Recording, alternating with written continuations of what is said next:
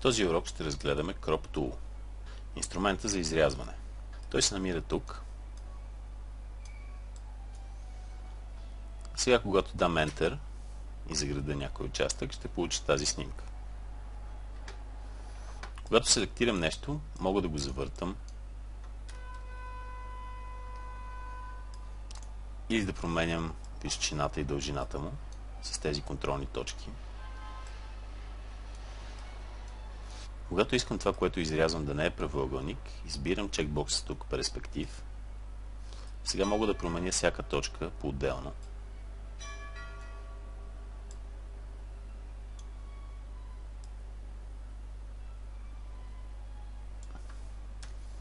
По този начин получих готова текстура, която може да ползвам за нещо от сорта на това. Нека да се върнем.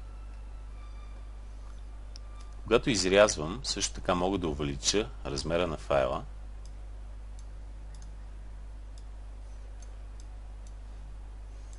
Като го направя по-голям. Обратният ефект на Crop също може да се постигне и с Canvas Size. От тук увеличавам също картинката.